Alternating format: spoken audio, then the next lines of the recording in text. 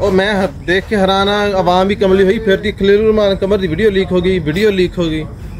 ਉਹ ਵੀ video leak ਹੋ ਗਈ ਅੱਛਾ ਠੀਕ ਹੈ ਜੀ ਹੁਣ ਹੋ ਗਈ ਹੁਣ ਅਗਲੀ ਗੱਲ ਦੱਸੋ ਕੀ। ਉਹ ਕਿਹੜਾ ਹਾਜੀ ਸੀ ਵੀ ਉਹਦੀ ਵੀਡੀਓ ਲੀਕ ਹੋ ਸਕਦੀ? ਵੀ ਉਹ ਕਿ ਕੀ ਇਮਾਮਤ ਕਰਾਂਦਾ ਰਿਹਾ ਉਹ ਬਾਦਸ਼ਾਹੀ ਮਸਜਿਦ ਦੇ ਵਿੱਚ? ਸਾਨੂੰ ਪਤਾ ਹੀ ਸੀ ਉਹਨੇ ਕੀ ਕਰਨਾ ਵਾ। ਜਿਹੜੇ ਬੰਦੇ ਦਾ ਕੰਮ ਹੀ ਇਹੀ ਆ ਉਹ ਤਾਂ ਤੁਸੀਂ ਕੋਈ ਅੱਛੇ ਕੰਮ ਦੀ ਤਵੱਕੋ ਰੱਖਦੇ ਆ।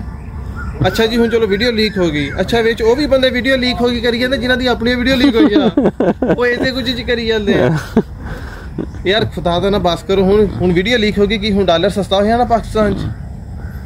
ਬਸ ਆਵਾਮ ਨੂੰ ਪੈਟਰੋਲ ਸਸਤਾ ਹੋਇਆ ਨਾ। ਆਵਾਮ ਨੂੰ ਕਹਿੰਦੇ ਥੋੜਾ ਜਿਹਾ ਮਿਲ ਗਿਆ ਉਹ। ਆਵਾਮ ਨੂੰ ਇੱਧਰ ਲਾ ਕੇ ਨਾ ਆਰੇ ਲੱਗ ਗਈ ਆਵਾਮ। ਆਰੇ ਲੱਗੀ ਵਾ ਆਵਾਮ ਨੂੰ ਇਹੀ ਚਾਹੀਦਾ ਵਾ। ਉਹ ਦੇਖ ਦੇਖ ਕੇ ਨਾ ਥੱਕ ਜਾਂਦੀ ਕੋਈ ਨਵੀਂ ਚੀਜ਼ ਨਹੀਂ ਆ ਰਹੀ। ਤੇ ਖਲੀਲ ਰਹਿਮਾਨ ਦਾ ਅੱਲਾਹ ਭਲਾ ਕਰੇ। ਉਹਨੇ ਕੰਮ ਪਾਤਾ ਆਵਾਮ ਨੂੰ ਜਿਹੜਾ ਨਾ ਆ ਹੁਣ ਰਾਤ ਨੂੰ ਚੰਗਾ ਸੋ ਕੇ ਨਾ ਸਾਰਾ ਕੁਝ ਅਸਲ ਦੇਖੋ ਕੌਮੀ ਤਰਜੀਹਾਤ ਚੈੱਕ ਕਰੋ ਯਾਰ। ਮੁਲਕ ਇੰਨਾ ਡਾਊਨ ਤੋਂ ਡਾਊਨ ਜਾ ਰਿਹਾ ਡੁੱਬਦਾ ਜਾ ਰਿਹਾ ਆਪਣਾ। ਯਾਰ ਮੈਂ ਉਹੀ ਇਹਨਾਂ ਨੂੰ ਕੋਈ ਫਿਕਰ ਹੀ ਹੈ ਨਹੀਂ ਵੀ ਅਸੀਂ ਡੁੱਬਦੇ ਜਾ ਰਹੇ ਕੋਈ ਸੋਚੀਏ ਕੋਈ ਬਹਿ ਕੇ ਮਿਲ ਬੈਠੀਏ। ਵੀਡੀਓ ਲੀਕ ਹੋ ਗਈ ਕਿ ਡਾਲਰ ਸਸਤਾ ਵੀ ਕਿਹੜਾ ਮਾਫੀਆ ਉਹ ਸਿਆਸਤਦਾਨਾਂ ਨੂੰ ਪੁੱਛੀਏ ਕੋਈ ਸਵਾਲ ਜਵਾਬ ਕਰੀਏ ਕੋਈ ਉਹ ਨਹੀਂ ਬਸ। ਆਵਾਮ ਵਿਚਾਰੀ ਬਿੱਲ ਇੰਨੇ ਗੁਰਬਤ ਜਾ ਰਹੀ ਹੈ ਬਿੱਲ ਭਰਨ ਵਾਸਤੇ ਹਰ ਚੀਜ਼ ਵੇਚੀ ਜਾ ਰਹੀ ਹੈ ਬਿਲਕੁਲ ਠੀਕ ਆ ਆਵਾਮ ਨੂੰ ਨਾ ਮਹਿੰਗਾਈ ਦੀ ਨਾ ਪੈਟਰੋਲ ਦੀ ਬਿਜਲੀ ਦੇ ਬਿੱਲ ਕਿੰਨੇ ਆਏ ਆਵਾਮ ਨੂੰ ਵੀਡੀਓ ਚਾਹੀਦੀ। ਆਵਾਮ ਨੂੰ ਵੀਡੀਓ ਚਾਹੀਦੀ। ਡੇਲੀ ਇੱਕ ਵੀਡੀਓ ਮਿਲ ਹੁਣ ਬਸ। ਦੱਸਾਂ ਕਿ ਗਰੁੱਪਾਂ 'ਚ ਲੱਗੀਆਂ ਹੋਈਆਂ ਪੋਸਟਾਂ ਯਾਰ ਉਹ ਲਿੰਕ ਸੈਂਡ ਕਰ ਦਿਓ ਖੁਦਾ ਖਾਨਾ ਲਿੰਕ ਸੈਂਡ ਕਰ ਦਿਓ ਲੱਖ ਕਲਰ ਦਾ।